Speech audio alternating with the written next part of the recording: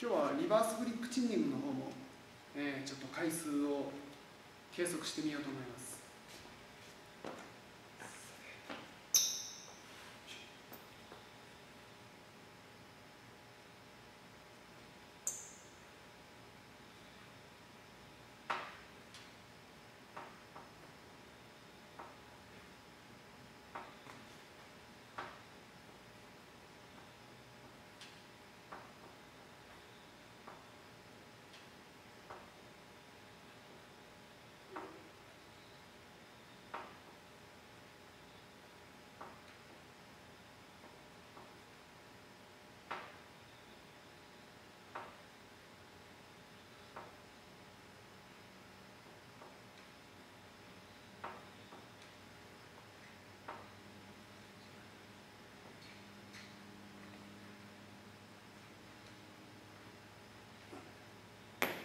えー、